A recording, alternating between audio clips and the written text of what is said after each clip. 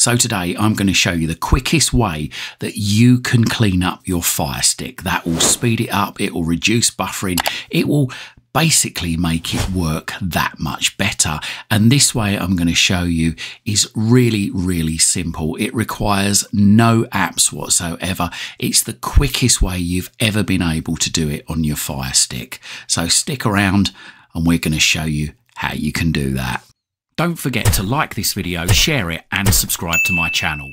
Doing these three things help us make more great videos for you. So as I say, we are going to show you today how you can clean up your Fire Stick. Now cleaning it up does keep it running smoother, keeps it running better, makes it run quicker, it should buffer much less. And even better still, this way of doing it requires no extra apps to be loaded. I don't like loading extra apps on the system to clean up anyway, because apps take up space in themselves. And you'll probably find most of the time the amount of space that the app takes up that you have to load onto your Fire Stick or any device probably equates to your space saving anyway. So you're no better off. So what I'm going to do is we're going to go back to the main menu and I'm just going to go across to settings over there on the right. Then I'm going to go down and across to applications and then you might see here on your device clear all application caches. Now, if you don't see that, press the back button on your remote control and then go into My Fire TV, go into About, and then go down to Check for Updates, middle button on the remote control, and just make sure that your Fire TV is up to date. If it's not, then let it update. If it's saying it's up to date and you've still not got it, just keep checking for updates on the odd occasion. Hopefully, at some point in the near future, you should get an update which will give you this option. So you might have to be patient for it. But as of the 4th of September, I have got this option on my Fire Stick.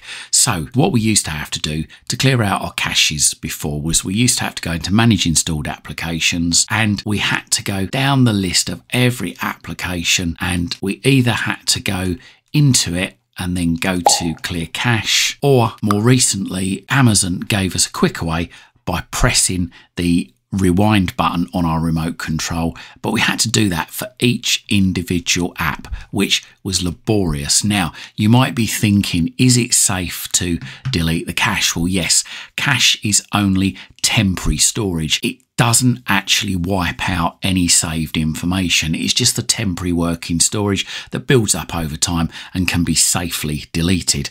It's more, it's the data. That's what you shouldn't delete unless you want to reset the app. The data stores things like your settings. It might store your login details. So if you cleared the data, it could wipe out any settings that you've set in a certain app. It could also log you out of that app and mean you've got a log back in again. Let's just go back back to clear all caches. As I said there, I've got I've used 6.21 gigabytes. Let's go down to clear all application caches press the middle button on the remote control and there you go. It says here, clear all application caches. Are you sure you want to delete the caches of all installed applications? Deleting will free up 670 megabytes of storage. Are you sure you want to continue? So if you're sure, then make sure that confirm is highlighted, press the middle button on the remote control and then give it a few seconds, go back up to manage installed. And as you can see there, there you go. I've got more available and less used space. So that's cleared out 600 odd megabytes on my Fire Stick. Now, how often should you do this? This is something I'm asked all the time.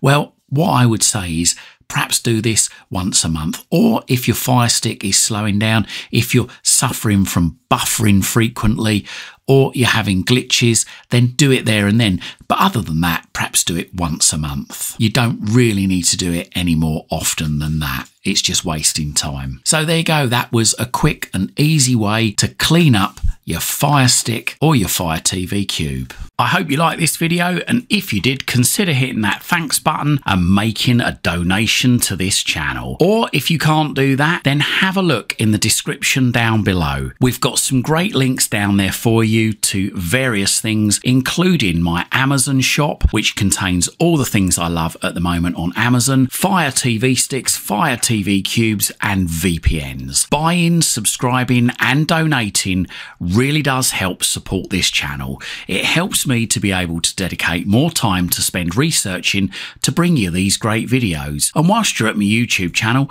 why not stick around? I've got thousands of other videos for you right here, right now, covering all sorts of subjects. Hopefully, whilst you're here, you're going to find something to educate you, entertain you, amuse you, and maybe even save you some time and money.